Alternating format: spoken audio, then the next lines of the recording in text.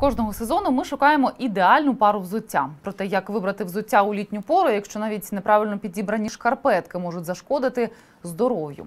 На що потрібно звертати увагу при покупці, розкаже Наталя Макогон. Високі підбори, зручні сліпони чи легкі босоніжки.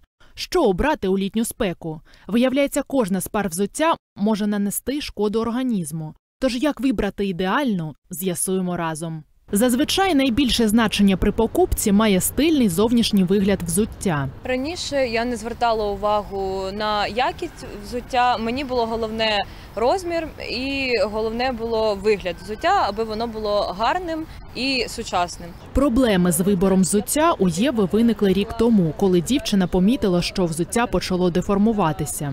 Носила звичайні кросівки і е, почала е, помічати, що е, у мене почала заламуватися дуже сильно нога, і кросівки самі почали викривлюватися. Я почала дуже дивно ходити, і мені стало незручно. Якщо до підбору взуття ставитися халатно, то невдовзі можуть виникнути серйозні проблеми зі здоров'ям, кажуть лікарі Образуются косточки, которые э, в основном многие специалисты говорят, что нужно только оперативно, э, оперативное вмешательство. У літню пору користуються популярністю максимально відкрите взуття. Найчастіше зараз купують сандалі, і ось така модель буде в тренді. Ось декілька порад, як вибрати взуття в магазині. Не приміряйте по одному, одягайте одразу пару, адже ноги можуть відрізнятися одна від іншої анатомічною будовою. Зігніть руками підошву. Вона повинна бути м'якою та еластичною. Взуття повинно повторювати форму вашої ноги. Зробіть кілька кроків, щоб зрозуміти, що вам буде зручно при ходьбі. Здесь пальцы все расположены именно так, как они должны быть.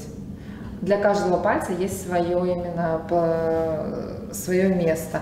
Нету никакой передавленности, и вы не будете иметь именно вот обувь достаточно мягкая, Щоб взуття прослужило довго, воно повинно бути виготовлено з якісних матеріалів. Желательно брать обувь из натуральных тканей и из натуральной кожи, Есте- потому что оно именно дышит, и ваша стопа не будет подвергаться каким-либо бактериям, и на- кожа будет дышать.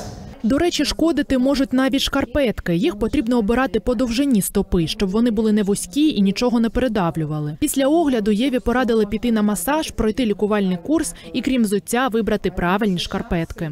Вы должны носки выбирать не по циферкам, а именно по... У вас носок должен ложиться четко на вашу ногу, без натяжения, потому что носки имеют определенную форму. Если мы их тянем, они становятся уже. Естественно, ваша нога начинает сужаться и опять же деформироваться. Звичайно, варто обирати взуття в залежності від цілей. В офіси на пробіжку воно буде різним. Проте при виборі будь-якого варіанту у першу чергу звертайте увагу на свій комфорт, якість та матеріал. Наталя Макогон, Олександр Хан. Новини Правда тут.